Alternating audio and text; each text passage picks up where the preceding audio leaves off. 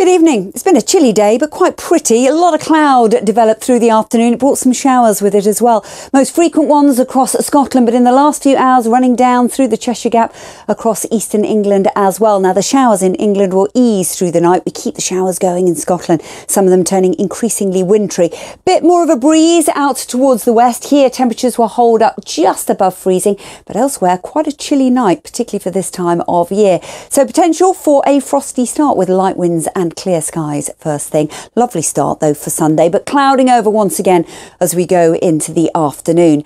Now we could continue to see some showers, particularly in the Northern Isles and the far north of Scotland. Here it stays cool. The sunshine turning increasingly hazy into the afternoon because of this frontal system. It'll bring some outbreaks of showery rain to Northern Ireland. So temperatures across England and Wales, maybe a degree or so up on today with a dif different wind direction, but staying rather cool into the far north of Scotland. Then we have to look out to the west for what's to come into the early part of next week as low pressure dominates. It'll bring some rain, some of it heavy at times, but it will start to bring something noticeably warmer across the country as the wind direction continues to move up from a southerly.